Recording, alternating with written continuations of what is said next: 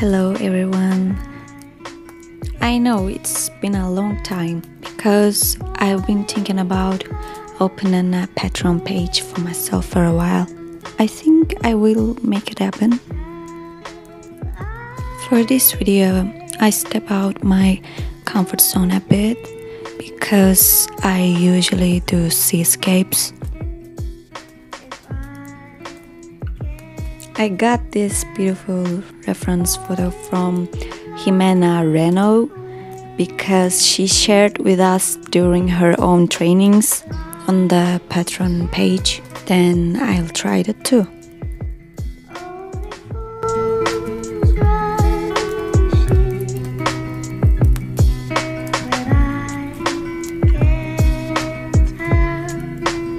Okay, to be honest, I had a hard time drawing roses because I didn't include the whole process because I spent days on it.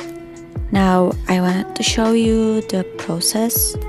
I used burnt sienna to outline the section because I wanted to get a sketch in warm tones.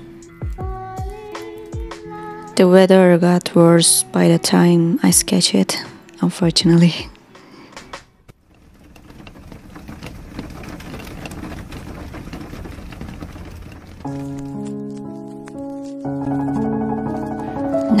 I paint only main colors slowly and calmly.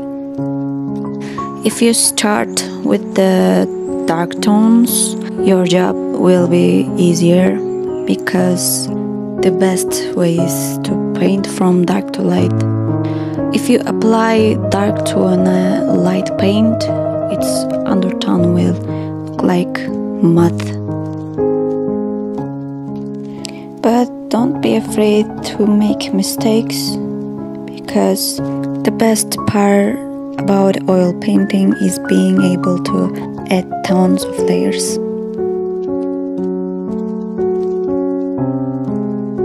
No one knows how many layers it builds. So you can eliminate your mistakes as much as you want.